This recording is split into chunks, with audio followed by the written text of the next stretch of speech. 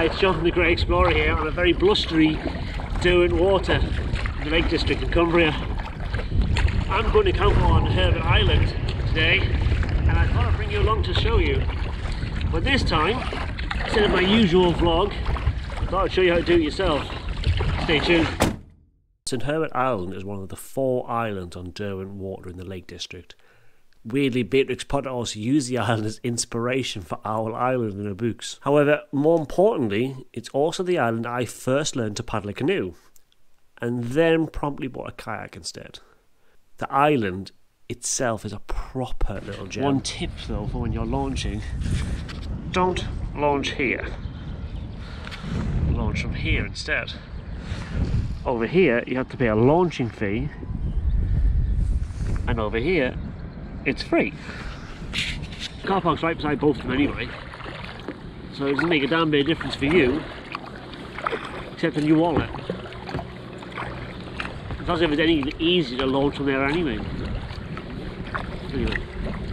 I park in Lakeside Car Park because they offer overnight parking, payment by app, and easy access to Crow Park, the launching site. Derwent Water is a very popular spot, not just with tourists though, but with the RAF as well. We had visits by both Ospreys and fast jets. Plenty of landing spots on Herbert Island.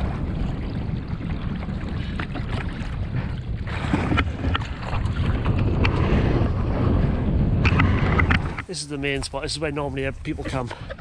A huge, huge section here. There's more over there as well.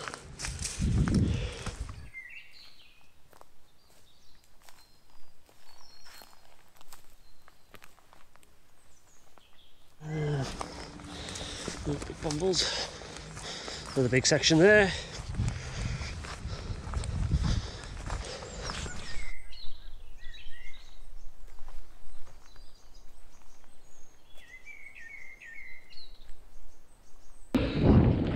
I came paddling around Derwent a while ago with friend Sean. There's a massive, enormous bell tent just right there. There's a lot of places to camp here. And because all the uh, lakeside uh, boat hires are all shut now, and this been a weekday, I can pretty much guarantee I have this island to myself tonight. Despite the fact it's on Derwent water in Easter. So I'm hammock camping tonight because that's my favourite way of camping.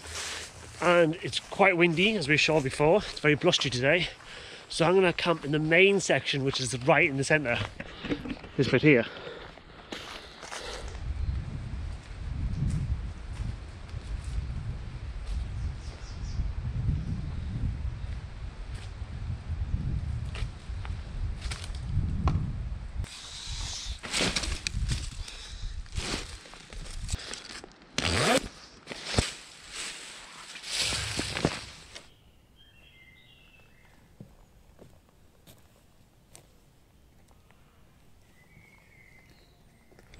So despite the fact that I'm on the island alone, and I don't think anybody's going to land here tonight, for peace of mind, I'll drag the boat from over there to here.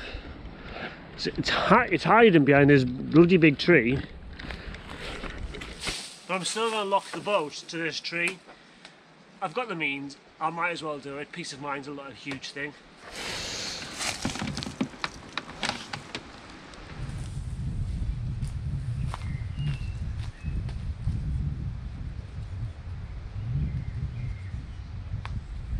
So that's camp set up. Now I'm just going to chill out for a bit, listen to an audio book, and wait for the stars.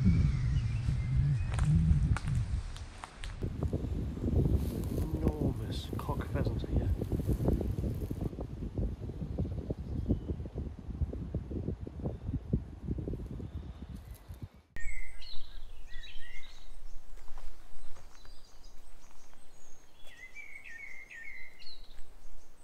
So as the night descended, I tried my hand at astrophotography using my phone. It's something I really like to capture as the night sky in these remote locations I camp in can sometimes be very stunning. Shame my photos are the exact opposite of stunning. Better luck next time, eh?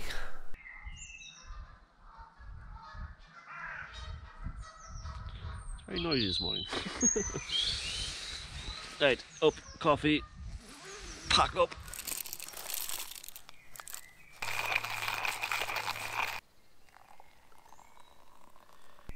There's a catapult just there. As I'm pressing down on this, I just noticed something in the in the corner there. I'm sure you can see that, but I do believe that that is a catapult. Yeah, somebody's catapult that's been left behind. It's in good condition too. We should drop and fill out someone's pack.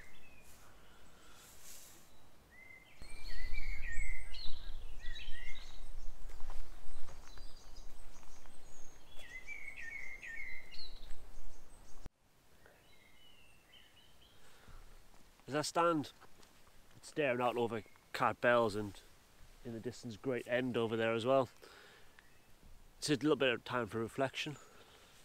I had the island completely to myself last night.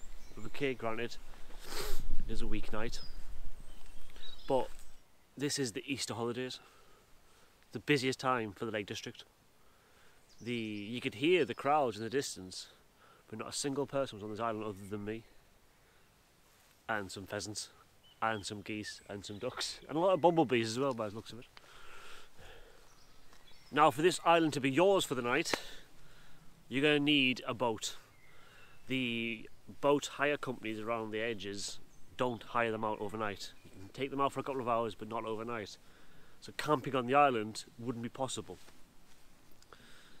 Now I've seen people turn up last night in SUPs. I've seen um, canoes on this water, which would be a very good idea.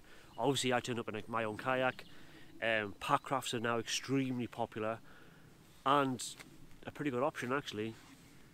That being said, its inaccessibility makes it great to camp on.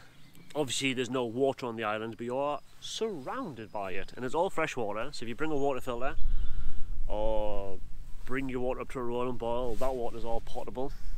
Um, obviously, there's no toilets on site, so pack in, take it out with you. Um, there's quite a lot of firewood, which surprised me because last time it was quite nude. So if you want a fire, I would suggest bringing your own, or you could risk it and take some of those deadfalls lying around. Uh, food, there's a couple of wild edibles on the island, but unless you really know what you're doing with that, I would probably avoid that too. It's just a really nice overnight stop in the heart of the Lake District. I couldn't recommend it more.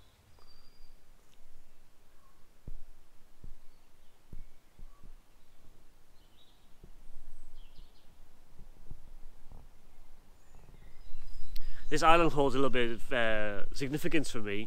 I did a canoe course oof, a couple of years ago now, um, and the instructors actually brought us to this island to stay the night.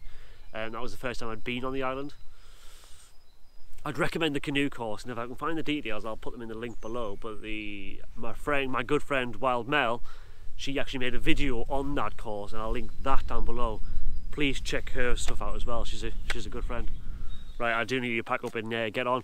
Thank you for watching. If you have any, if you enjoy this type of content, please hit subscribe, like the video, and give me suggestions. Where would you like me to go next? I'm always up for new adventures. Anyway, until the next time, guys. See ya. Bye bye.